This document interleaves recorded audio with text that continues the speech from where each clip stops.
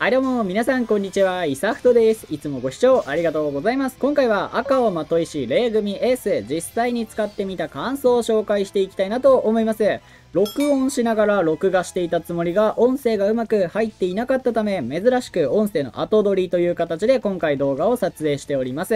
で、今回ね、チャレンジしているダークアルコーンに関してエースがめちゃくちゃなダメージを出したので、まあ、こんだけエース強いよというのを皆さんに一緒に紹介できたらなと思っております。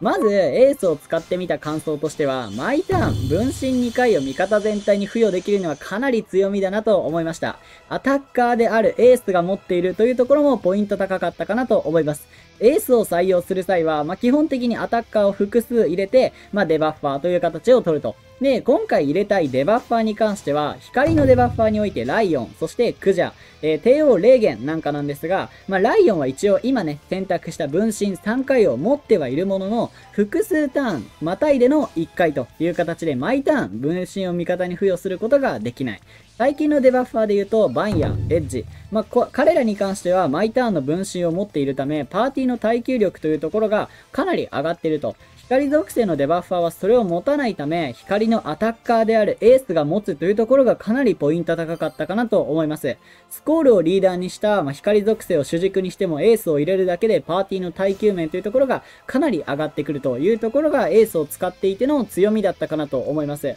その他エースの使い方に関しては、ダメージを出すターンの直前。まあ、今回で言うと、4ターン目までは、基本的にはもう分身の付与ぐらいしかやることがないユニットかなと思いました。エースができるポイントとしては、まあ、光属性のデバフをしながらとか、光の付与をするというところだと思うんですが、まあ、光のデバフに関してはね、もちろんデバッファーにね、任した方が高倍率のデバフができますので、まあ、エースの出る幕ではないのかなと思ってます。で、エースをリーダーに添えた時に、アタッカーとして現環境で採用できるのは、マスクラ強化をもらったナイツ、そしてスターライトエレナ、この二人かなと思ってます。この二人をね、まあ、光属性でそれぞれ相性がいいというところもあるんですが、この二人をうまく使うためには、やっぱりデュースという存在が必要不可欠だなと感じてます。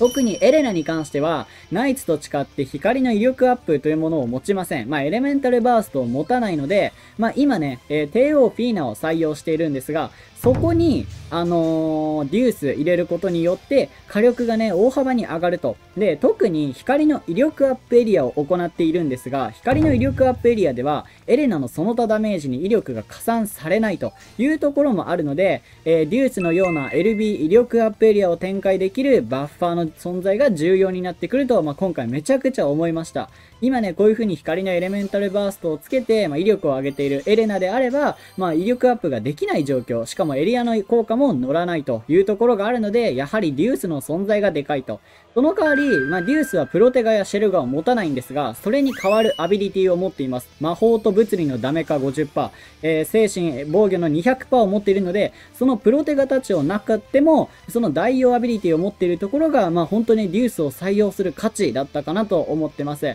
もっとね、その光のエレメンタルパワー、2突デュース、2突必須ではあるんだけど、それがあったらなおエレナの火力が上がった今回のダークビジョンズだったかなと思ってます。で、今回紹介したい最後のエースのダメージなんですが、今、まあ、まあ、見ててわかる通りめちゃくちゃなダメージ出してるんですよ。まあ、ナイツも今回かなり上振れたっていうところもあるんですが、エースが出したダメージが、まあ、全体で言うと200億出すことができました。で、エースが単体で出したダメージっていうのが、いや、すごかった。全力接待やった時も火力が出たんですよ。なんと、エースが出した火力がこちら。85億。まあ、全体というところも今回ポイントだったかなと思っておりますので、皆さんもぜひ今回エースを使って遊んでみてはいかがでしょうか最後までご視聴ありがとうございます。それじゃあ、またね